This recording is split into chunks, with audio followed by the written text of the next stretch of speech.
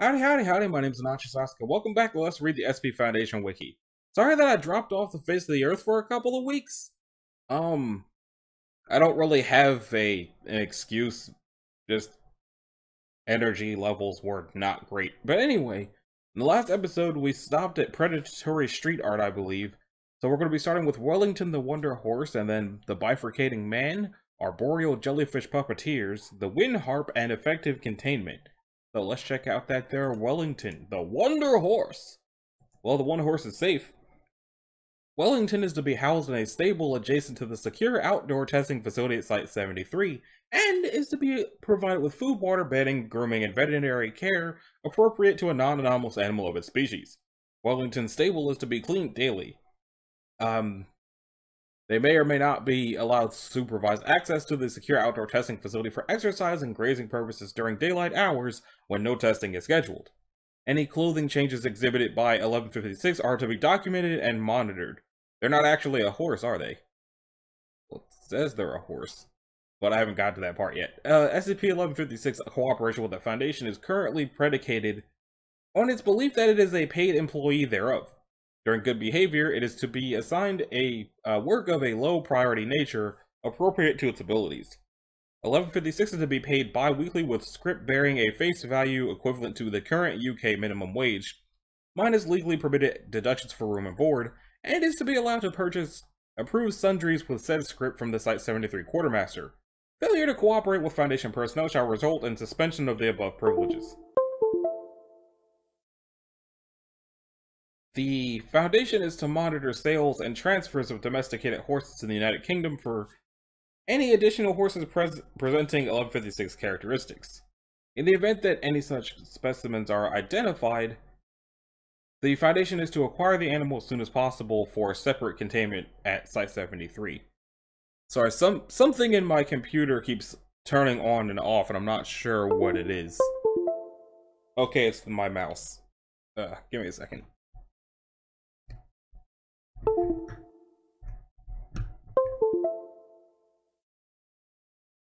Okay. Um. Let me do that one more time.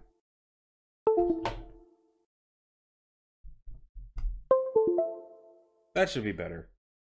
Um, sorry about the clicking noise of me unplugging the fan of my computer the USB hub was being busted. So, um, description 1156 is a male domesticated horse, Equus ferus caballus, of indeterminate breed and unknown age, approximately 1.7 meters in height. The tongue, palate, lips, and vocal cords are shaped in a manner not found in non anomalous horses, allowing it to produce phonemes used in human speech. Uh, 1156's brain is approximately blank percent larger than the brain of a non anomalous horse, and possesses several anatomical regions of unknown purpose or function.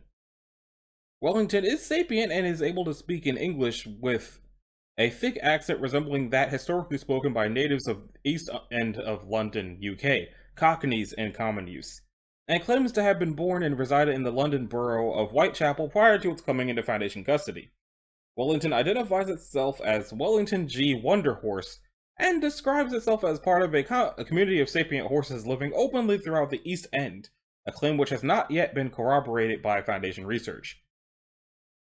1156 has demonstrated a limited ability to manipulate tools and simple machines with its lips, teeth, and tongue, including an ability to write by holding a pen in its mouth.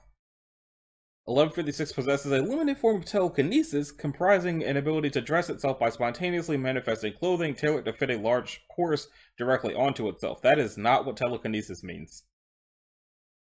Uh, most frequently, this clothing takes the form of a silk top hat and a light blue scarf bearing the monogram WGW in gold embroidery, though 1156 has demonstrated an ability to produce other articles of clothing, including neckties of various styles, coats, eyeglasses, masks, heraldic banners, harnesses, bridles, and bits, and on one occasion, a upon a request from research staff, a full suit of articulated plate armor. Clothing manifested by 1156 spontaneously disappears when 1156 dresses itself differently. The source of the clothing is ultimate disp and its ultimate disposition upon demanifesting is unknown. Forensic examination of the clothes themselves indicates that they are comprised of common fabrics and metals and bear no anomalous properties in and of themselves. Wellington was acquired by the Foundation in 2000 something following a raid on a country club in Redacted, UK owned by Marshall Carter and Dark Limited. Wellington claimed to have been taken prisoner by them six months prior after responding to a want ad for coach horses and forced to perform various tasks for the guests of the club. Wellington describes itself as a professional coach horse and has been convinced at this time that the Foundation is employing him for that purpose.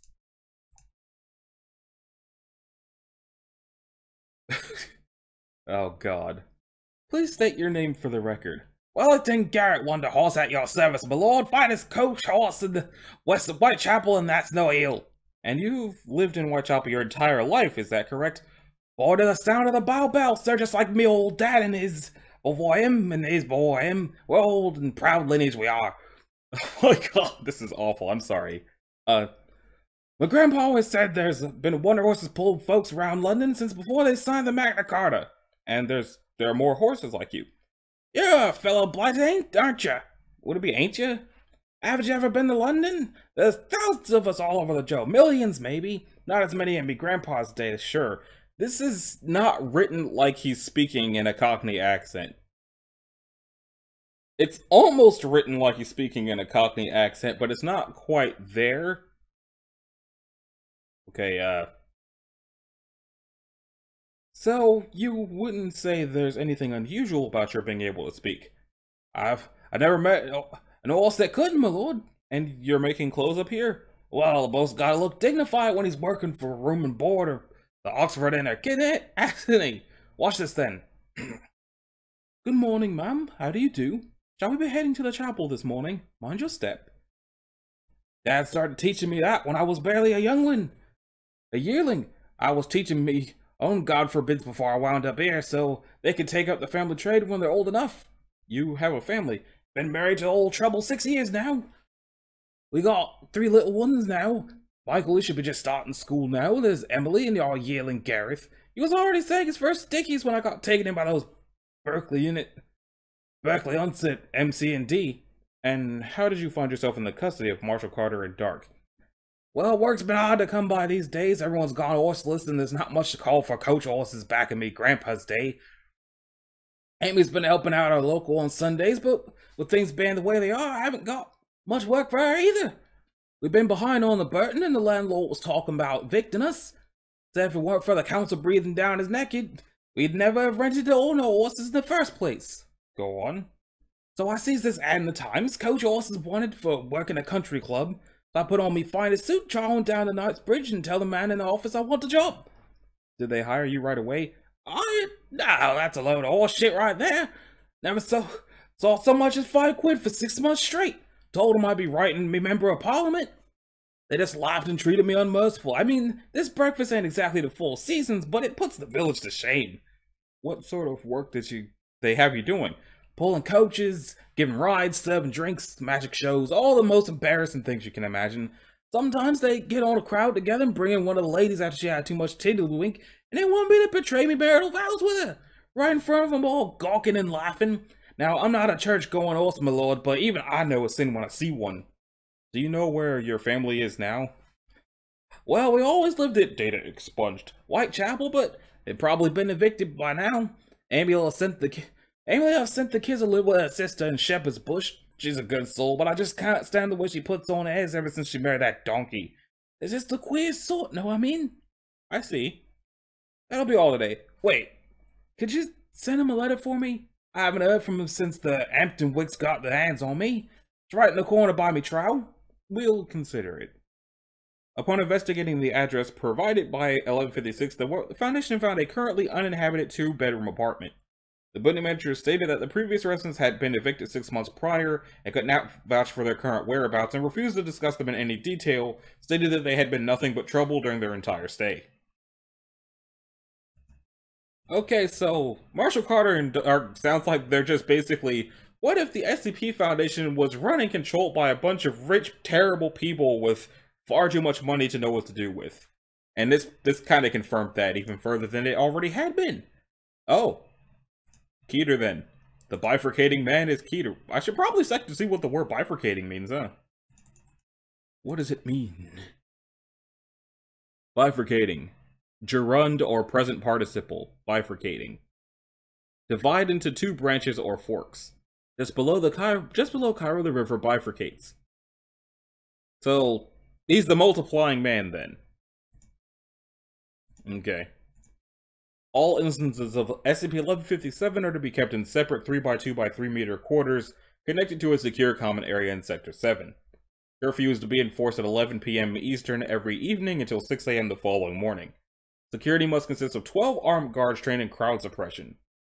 1157-1 is to be kept in isolated quarters and not connected to the main containment area.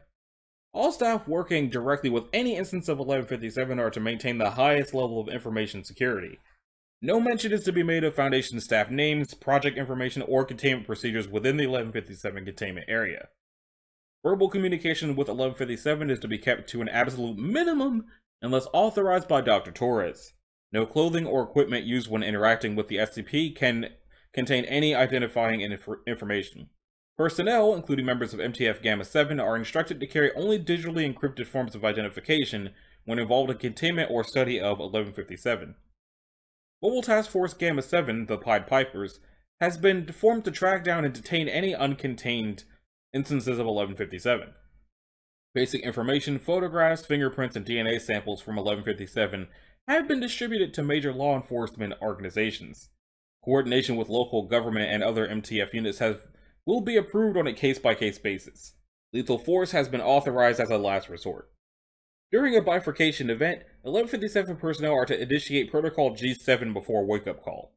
Description SCP-1157 is a Caucasian male with brown hair and blue eyes.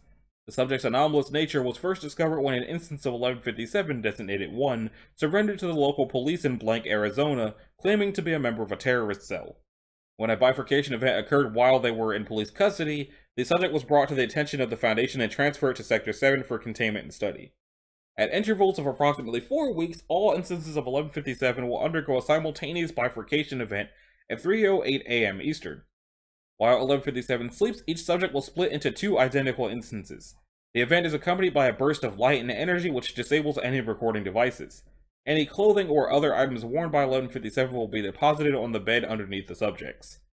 Protocol G7 is to be enacted immediately after every bifurcation event. The containment area is to be flooded with a gaseous sedative. A security team equipped with gas masks will enter the containment quarters and remove one of each resulting subject pairs for euthanasia, study, and disposal. SCP-1157 displays a limited form of shared consciousness. While each instance exhibits their own personality and can make individual choices, they also experience the surface thoughts and impulses of all other instances. Based on subject interviews at the time of 1157's initial detention, at least five bifurcation events had already occurred.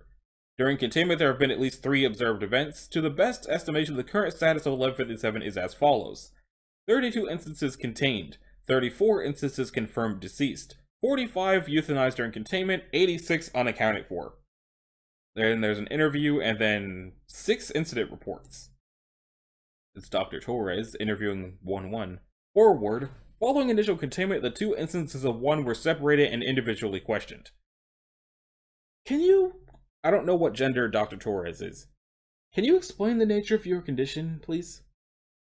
I go to sleep, and when I wake up, there's one more of me. And this has happened before. Eh, a few times. Last week makes five. There's 32 of me now. No, I, I, I will not. Is something wrong? they can hear us, you know. The rest, they're not happy with me.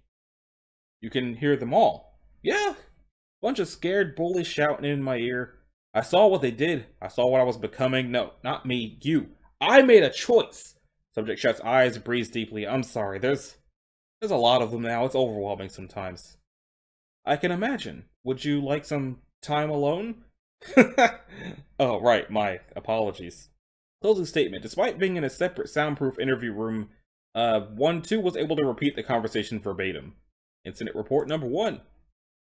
Mobile Task Force Gamma 7 leader.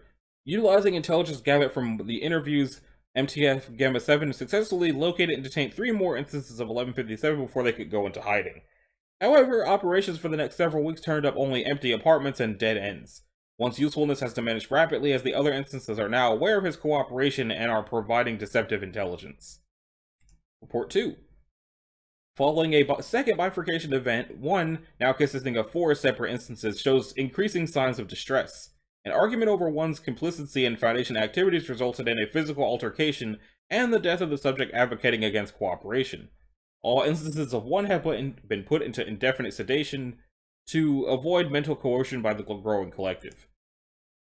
Intercepting email correspondence between Loose 1157 allowed us to locate a safe house used by numerous subjects. Gamma 7 was met with small arms fire upon engagement, forced to terminate two instances, captured 7. Computers and correspondence found on the found on the property indicate that 1157 is aware that an organization is tracking them, but they have no knowledge of the Foundation itself, requesting a cleanup team to scour the property for any other evidence of their activities. Report 4. Interviews with instances of 1157 reveal narcissistic personality and increasing distrust and contempt for anyone that is not 1157. The subjects have shown increasingly skillful attempts at tricking researchers into revealing sensitive information. Outside of one, the subject remains uncooperative. Agent Thomas was lost in our latest engagement with 1157 along with two other Gamma 7 members. The bastards had spent the last month training and stockpiling weapons. The warehouse we tracked a subject to held held enough 1157 to outnumber us 3 to 1 all armed. Even after capturing 16 and killing 31, there are likely even more of them uh, unaccounted for now, now than there were when we first discovered them. I'm submitting a request for at least a tripling of Gamma 7's numbers and resources. If we don't lock this down in the next month or two, we're going to start seeing these guys on every street corner. The contained instances of 1157 attempted a riot to break out of Sector 7 immediately following a bifurcation event. Using their increased numbers, 1157 assaulted the Protocol G7 team. Reinforcements allowed security to resolve the situation, at which point Protocol G7 was completed without further incident. Containment procedures were revised and 1157 were restricted to individual quarters for one week. Five days later, each instance carved the following into the wall of their quarters. You cannot contain me. Should one escape your grasp, thousands will arise within the year. O5 Memo. Request to have contained instances of 1157 reduced in number denied. Our sedated instances of 1 continue to increase in number. If 7 can sufficiently reduce the number of militant instances, we may soon have a sympathetic majority capable of converting the rest. Until that point, we want 1157 to believe they have the upper hand. So I guess the reason that one is keyed is because it's difficult to contain, and they can just use surface level thinking to learn about the facility, and then attack it. Arboreal jellyfish puppeteers. I'm not 100% sure what the word arboreal is, so I guess I should look that up too. What is it? Relating to trees, so some sort of tree jellyfish. It used to say 14 instant specimens, but now it says 8, and it's Euclid. The 8 specimens of 1158 in captivity are housed at Site 19, Hazardous Lifeforms Wing, in a 50 by 50 by 10 meter Lexan enclosure containing a rainforest habitat transplanted from to be transplanted from its natural surroundings. Habitat temperature will be maintained at 30 degrees Celsius. Embedded misting systems will regulate humidity levels at 70%. Full spectrum retractable sensor pods are embedded at 10 meter intervals in a grid pattern throughout the enclosure to observe behavior and feeding. The enclosure will be accessed through a positive pressure airlock for enclosure and habitat maintenance. Said maintenance blah, said maintenance will be performed weekly by a team of three level 1 personnel equipped with Tyvek exposure suits with set masking apparatus, accompanied by six MTF operatives armed with standard issue M1014 shotguns. Open flames are forbidden within the habitat. Feeding of 1158 will occur once every 21 days. Prey will consist of one live adult sheep. It used to say pig, but now it says sheep. Atmospheric molecular analysis systems are to be mounted throughout the habitat to detect the chemical markers of 1158 gamete deposits. All gamete deposits are to be collected for research. The deposits not used in research are to be incinerated. No breeding experiments are currently authorized. Description SCP-1158 is an airborne carnivorous arboreal predator superficially resembling a very large olive-drab Portuguese man-o'-war, particularly in its colonial polyp attributes. Known let's see, known habitat currently consists of deciduous rainforest within a 500 kilometer radius surrounding blankety blank. Research on deceased specimens has shown that uh, the large 4 meter pneum- pneumatophore is filled with hydrogen, thought to result from bacterial decay, providing lift. While airborne, 1158 nestles itself high in the canopy layer, allowing its feeding and detecting polyps to hang down through the understory to the forest floor. These polyps are effectively camouflaged among the various vines and branches present. The dactyl- dactylozooid polyp bundles are, to a limited degree, prehensile. 1158 has not been observed to at an altitude greater than the canopy emergent layer, seemingly preferring to remain silently hidden beneath the foliage. Prey appears limited so far to mammals and lizards with a mass of approximately 50 kilograms or greater. Once a victim makes contact with a dactylozooid polyps lying on the ground, or adjacent to a tree, nemocysts and the polyp strands inject a paralyzing neurotoxin while nearby polyp threads wrap around the victim's extremities. Addendum. For reasons which have not yet been determined, all species of pig tested thus far have proven to be completely unaffected by the neurotoxin. Experimentation indicates that envenomation and envelopment take approximately 6 seconds. At this time, primary feeding polyps enter the victim's body through all available orifices and anchor themselves inside. Once anchored, powerful digestive enzymes are delivered which break down internal organs for absorption by the polyps. The process has been observed to last approximately 4 days with the victim expiring approximately 2 days after capture. During the digesting and absorption process, if a captured subject is approached by other large vertebrates, it will stand on its hind legs and wave its front legs. If the captive is a human, this will produce a beckoning effect. Yeah. Specimens of 1158 were first discovered on blank blank 2000 something, approximately 400 kilometers from somewhere, uh, during deforestation operations pursuant to the construction of the blank blank and the blank near the something river. Two days after several advance parties went missing, Subsequent search teams located two party members seemingly at rest near the buttresses of a large ceiba tree. The two subjects were initially unresponsive, then appeared to be waving the search teams over for assistance. When approached, it was observed the two subjects' arms were suspended by very thin vines that were making them move. As the search team's medical personnel moved to assist, team members began stepping on and making contact with feeding polyps from several specimens of 1158 hovering nearby, at which point the specimens attacked, resulting in 11 casualties. Subsequent newspaper reports garnered the attention of the Foundation, which then moved to have the area quarantined. 14 specimens were taken into custody. Incident 1158E3 on blank blank 2000 something, 14 days after the specimens were placed in their habitat at Site 19, a domestic pig was introduced into the habitat to serve as a prey item. After several minutes of exploring the habitat, the pig became ensnared in the, the polyps as expected, but remained unaffected by the neurotoxin. Instead, the pig chewed through the polyps, severing them. The pig then seized the remaining polyps at its mouth and used them to pull the specimens from their canopy, at which point it trampled them to death and fed upon their remains. Six specimens were lost before the pig was shot. Dang. Okay, the wind harp. This sounds pleasant. It probably isn't. Oh, it's just sound. Info hazard warning. All information in this file must be kept in auditory form. SCP-1159 audio file. Note, I apologize for the informality of this recording. I was not able to use written notes. Okay.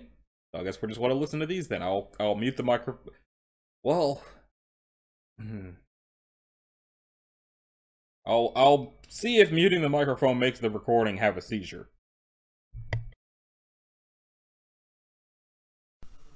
Item SCP-1159, Object Class Safe.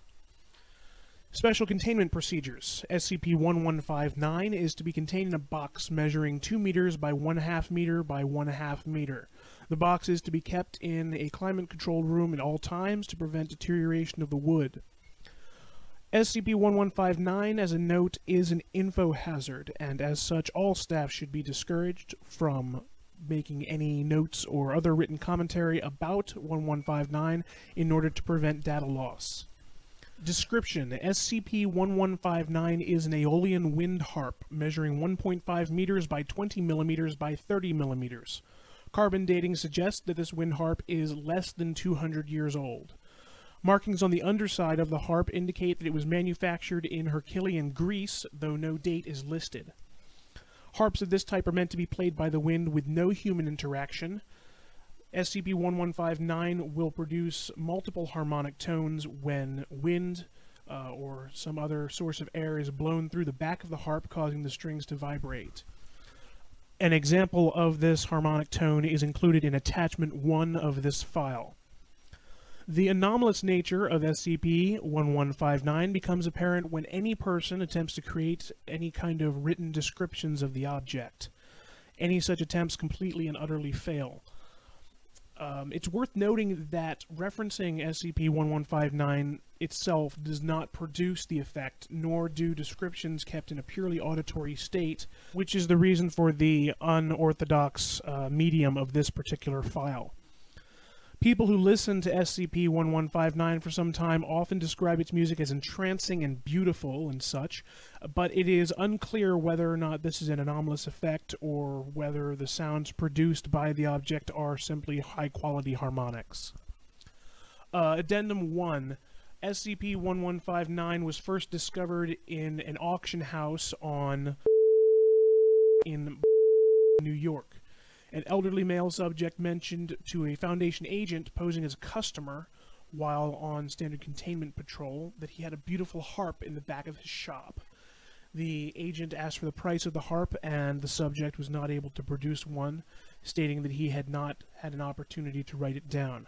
He did note that that was an unusual occurrence, but he said that it was certainly just an oversight on his part. After determining the anomalous nature of the object, the agent initiated a containment protocol and uh, SCP-1159 was recovered. Ending recording.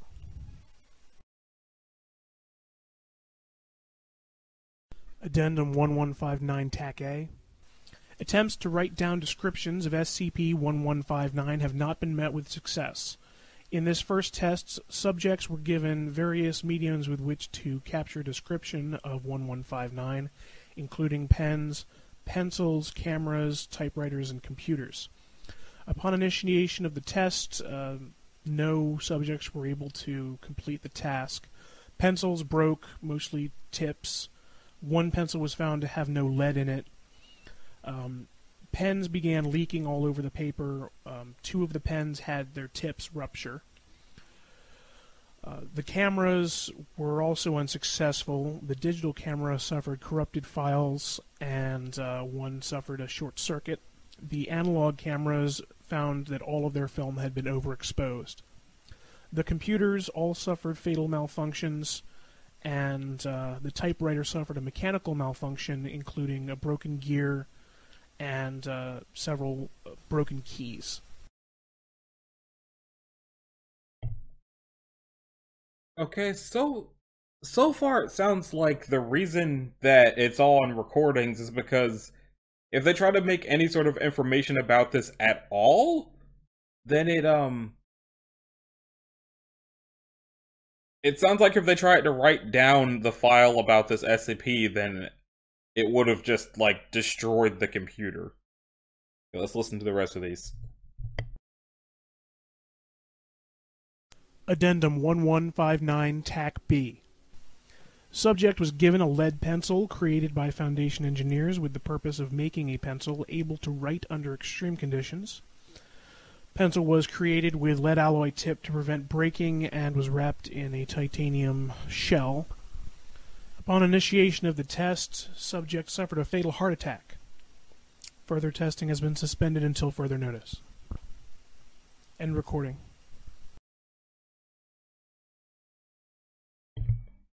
Okay, so um they as they said they made a indestructible pencil so that they could write down the information without the writing implement dying like in the first test and instead it just killed the person who was trying to write it.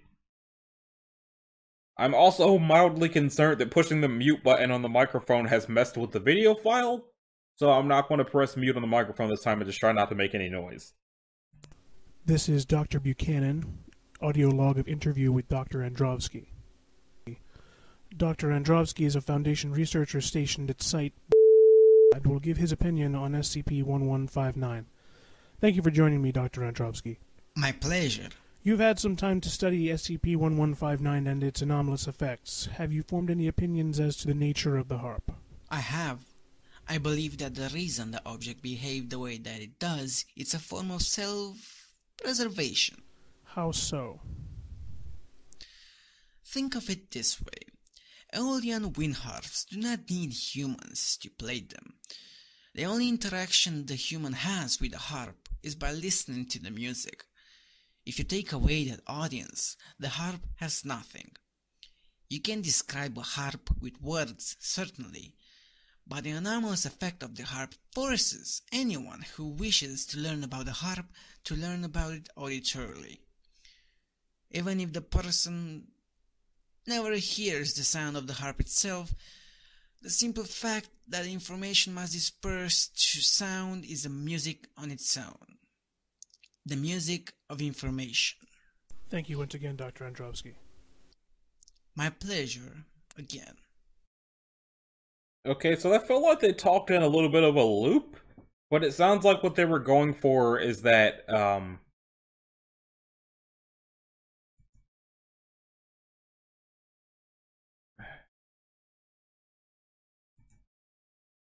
It sounds like what they were going for is that you can only know the SCP if you actually hear it, and the last audio clip is actually hearing it, and I'm just I'm now really paranoid that me pushing the mute button on the microphone just made it not come back when I unmuted it. But it seems to still be working, so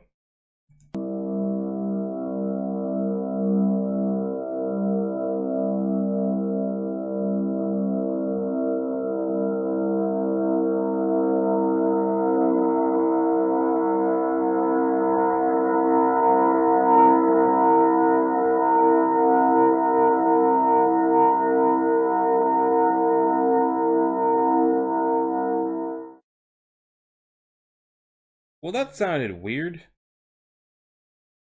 I'm not going to try to like write down a description of it, but it just sort of sounded like somebody pushed two random buttons on an organ piano and just left it. I don't know if that. I don't even really know what a wind harp is. Is a wind harp a real thing? Let's find out.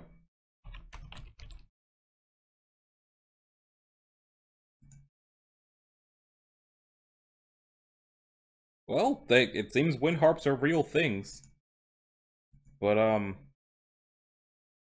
before I continue, I'm going to take a second to see whether or not the the microphone is working.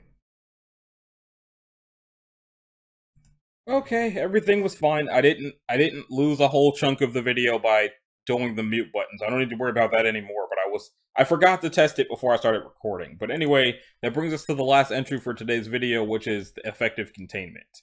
After I delete that video or uh, link. What the heck? Why does it look like this? It used to be Keter, but now it's safe, but why does the website, why does the page look like this? Are these links to everything that the Foundation has? The Foundation has a deviant art? Huh. Weird. But anyway, um... SCP-1160 is currently contained via Foundation Protocol Tango 77. Foundation asks her to maintain surveillance of 1160's area of captivity. Changes in the behavior or appearance of 1160 are to be reported to the offsite containment team at Site 95. In accordance with Protocol Tango 77, the distribution of the Super Cocoa Pals brand of breakfast cereal has been allocated to Site 95, which also currently oversees marketing and manufacturing. Any deterioration of the Super Cocoa Pals brand is to be considered a Level 2 info hazard emergency. And here is 1160 before initial containment, date, image dated August 15th, 1915. Alright then, SCP-1160 is a massive paranatural avian entity located beneath Mount somewhere near someplace something something something on somewhere island someplace. Despite being roughly 85 meters in height at time of recovery, due to the effectiveness of Foundation Protocol Tango 77, as of September the 11th, 2014, 1160 has been reduced in size to a size of roughly 25 centimeters in height. Recovered documents indicate that the entity referred to as El Ratonero by the original inhabitants of the island appeared in 1765 and began a series of aggressive attacks against the fishing villages of the island. Because of the anomalous traits of 1160, the inhabitants of the villages were unable to properly combat the entity, from a collected manuscript found in blank blank blank blank, translated from the original Spanish. The buzzard came again last night, larger than before. Its cry we heard first, the great gnashing of a terrible demon. It appears not like the mainland creatures, but something far worse, pulled from some devil's pit in eons past. The buzzard tore through our defenses, and we had no choice but to flee to the sea or take shelter in the earth and pray that it would not root us out. Every night that the buzzard returns, he is more and we are less. While 1160 can sustain damage, it is for all practical purposes considered indestructible, as 1160 is capable of rapidly and fully regenerating lost or damaged tissue, and is able to withstand all forms of conventional firearms or explosives below 300 kilotons. Additionally, 1160 has a, a number of insect-like optical organs situated around the head and back, capable of providing the SCP with a virtually 360 degree perspective of the area around it. I lost my spot by looking out the window, I apologize. Uh, the, these traits combined with the natural brute strength and speed of SCP-1160 make the entity particularly deadly in close combat. However, it is also negatively affected by human cognition, a trait that has been manipulated by Foundation Protocol Tango 77 to provide a comprehensive long-term containment solution for 1160. The rate at which human perception of 1160 increases is directly related to the rate at which it undergoes systemic, systemic biological decay, and the number of individuals who are cognizant of 1160's nature is inversely related to its overall size and strength. This effect, however, is not instant and seems to take place over the course of several hours after initial cognition. While it is believed that 1160 could feasibly continue to decrease in size indefinitely, the limits of this effect, if any, are unknown. Addendum Protocol Tango 77.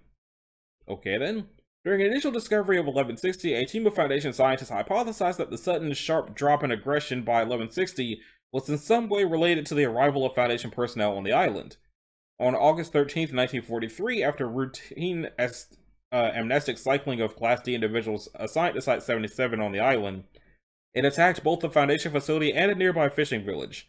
During the attack, the entity was noted as being highly aggressive and notably larger, inadvertently resulting in the loss of blank Foundation personnel and blank other inhabitants of the island. In response to this discovery, Foundation assets were allocated to the creation of Protocol Tango 77. The project, codenamed Saturday Morning, was begun with the intent of spreading awareness of 1160 to a large, consistent group of human subjects, which would in turn weaken and aid in the containment of the SCP. In 1953, after a 10-year period of development, initial trial runs of the protocol were enacted. On May the 14th, 1953, a Foundation front company, Standard Products, released the Super Cocoa Paws because, of course, um, breakfast cereal, which began mar marketing heavily towards children. The mascot of the brand was Bradbury Buzzard, a cartoon caricature resembling 1160. This character was featured prominently on the front and back of the box, itself containing a number of subtle anomalous memetic triggers intended to plant specific pieces of information concerning the nature and appearance of 1160 into the consciousness of its targets.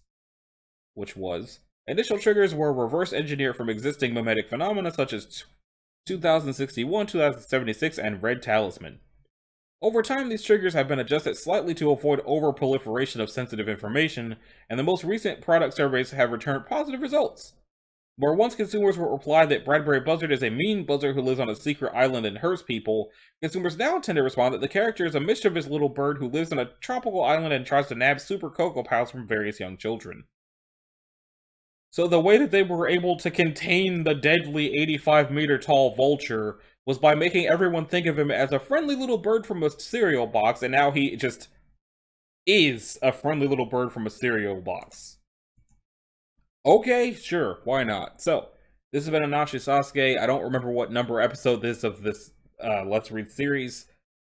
In the next episode, we'll be checking out a how-to book, A Hole in the Wall, Face Swapper, Echoing Epitaph, and Minus Level. If you liked it, a like and a subscribe would be groovy. If you didn't, you don't need to do either one of those things. If you want to click the bell, you can do that as well so that you're notified of um, future uploads. And I will see y'all in the next one. Later!